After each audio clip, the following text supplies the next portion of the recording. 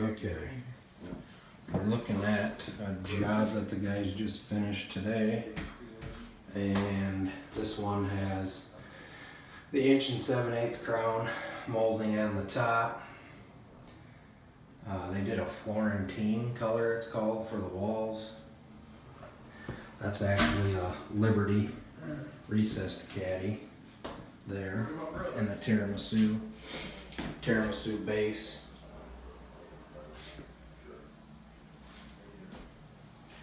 Then they have, we did the oil rub bronze fixtures. Fully frameless door.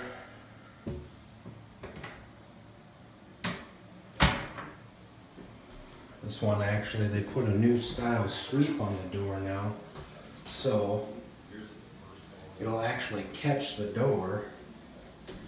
So the door doesn't go all the way through. Uh, and it'll also help with water not leaking out. You can do that both ways. We can either put that uh, particular piece in or we can leave it out. It's totally up to the homeowner.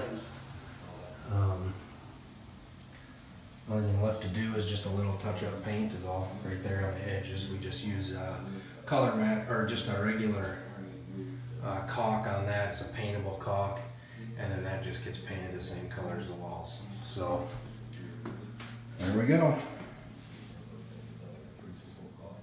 All done. 48 by 34 shower with a full height base all the way up to the ceiling.